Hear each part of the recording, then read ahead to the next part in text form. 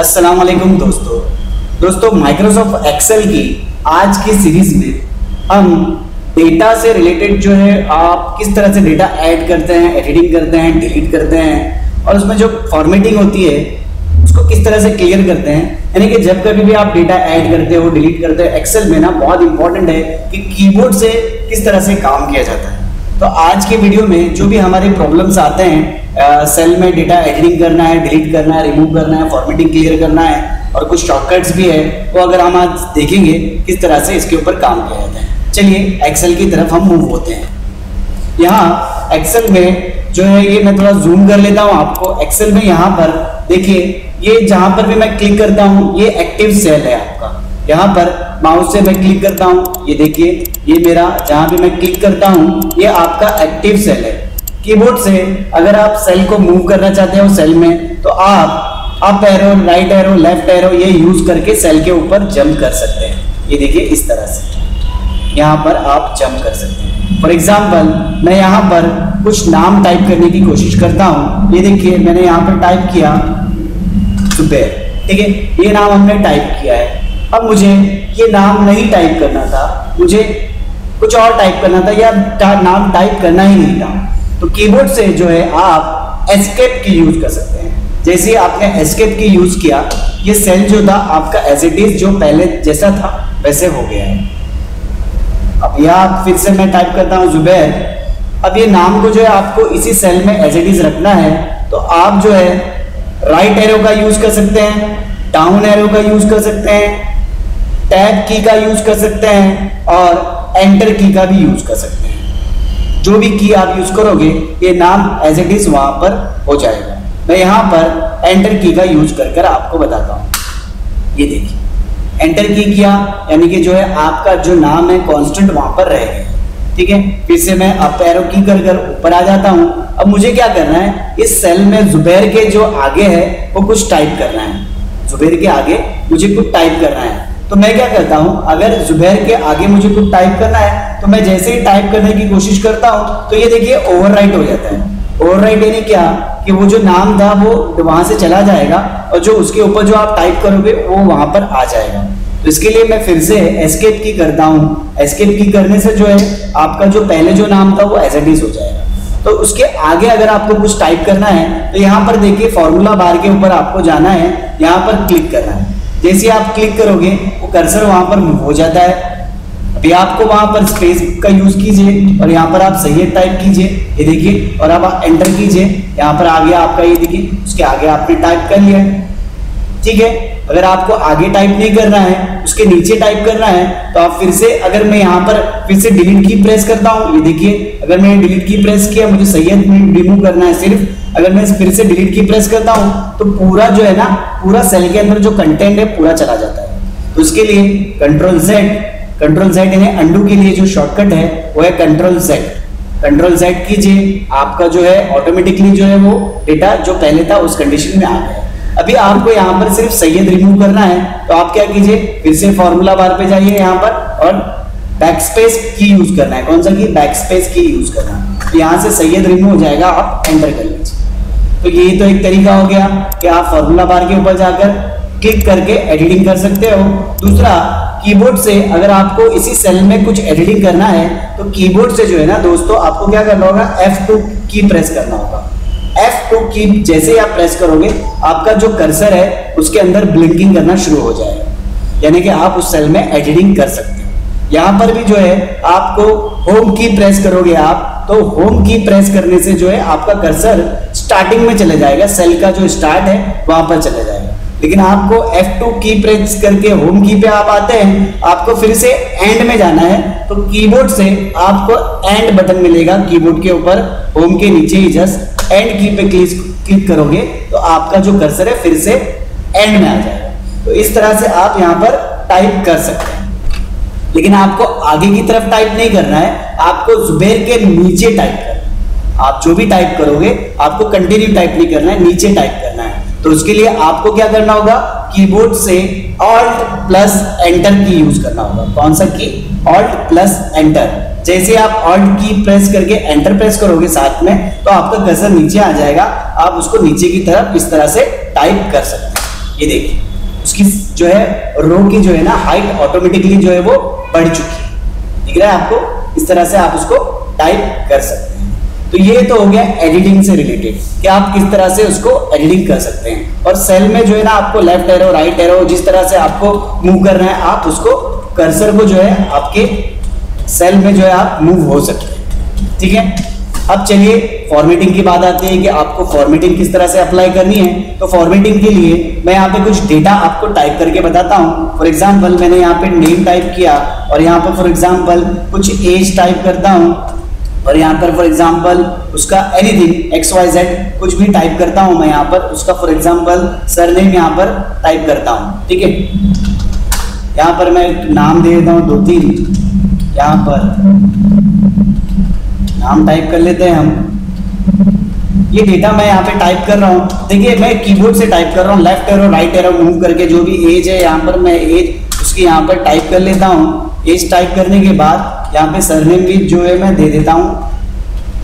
Continue surname मुझे करना है तो मैं यहाँ पे ड्रैग करके इसको यहाँ पर फिल कर देखो, मैंने पहले के वीडियो में एक्सप्लेन किया है फिल किस तरह से करते हैं। ड्रैग एंड फिल किस तरह से करते हैं। तो आप मेरे इस ट्यूटोरियल में अगर आपको कंटिन्यू वीडियोस देखने होंगे तो आपको पता चलेगा। मैं यहाँ से इसको ड्रैग करके फिल करता हूँ। ठीक है? अब फॉर्मेटिंग अप्लाई करना है। फॉर एग्ज़ाम्पल मैं यहाँ पर बीच में कोई कलर फिल कर लेता हूँ। यहाँ पर इस तरह से कोई कलर फिल कर लेते हैं हम। ये कलर फिल कर लिया।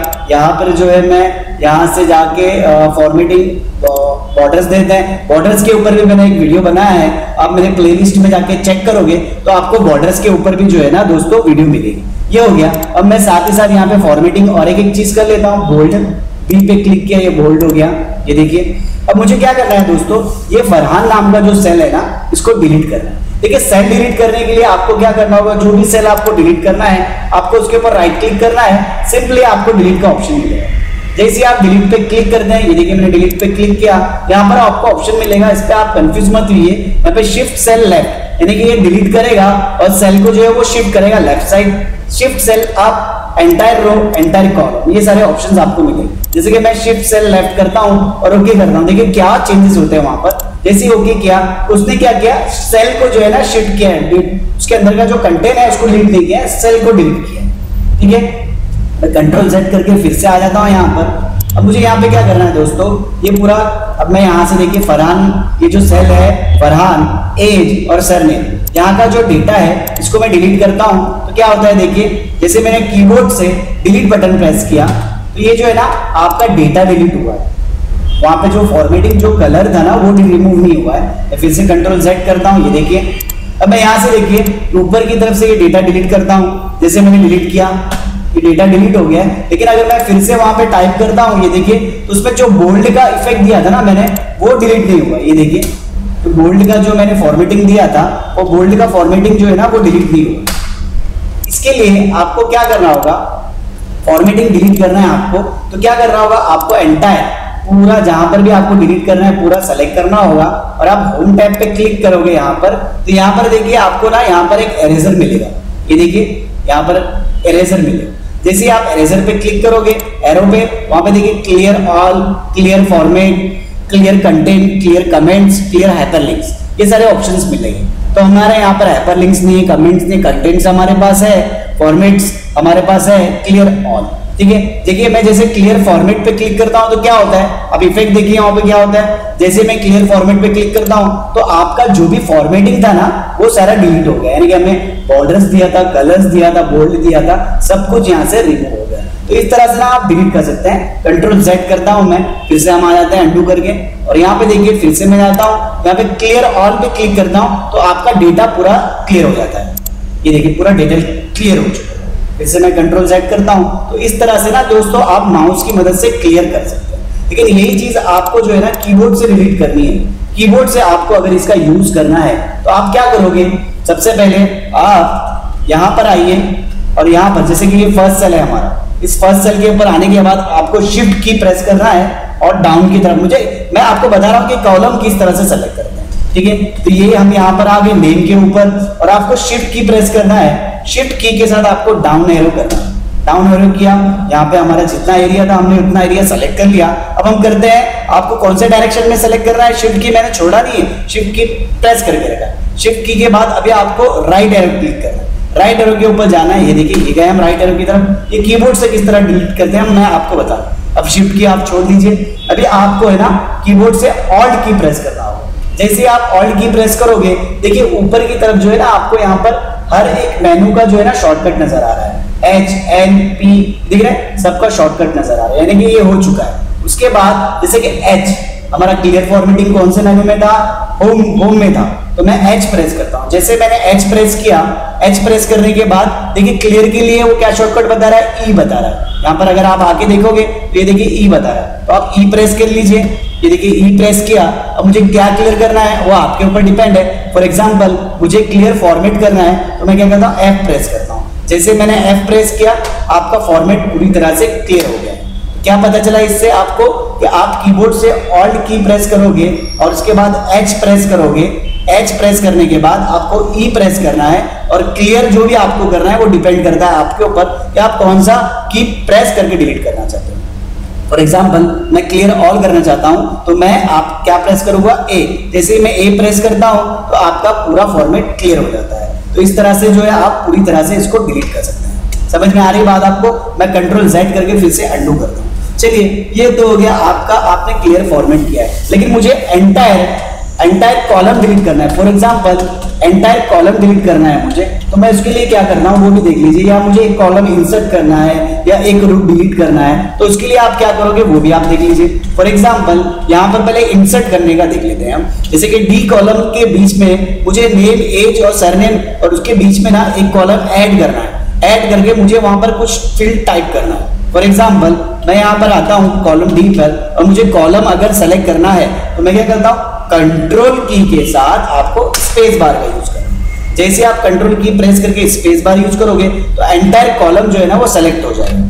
पूरा कॉलम आपका सेलेक्ट हो जाएगा। और कीबोर्ड के ऊपर अगर आप देखोगे तो आपको एक राइट की का बटन मिलेगा। जस्ट कंट्रोल की के पास एक आपको राइट की का बटन मिलेगा।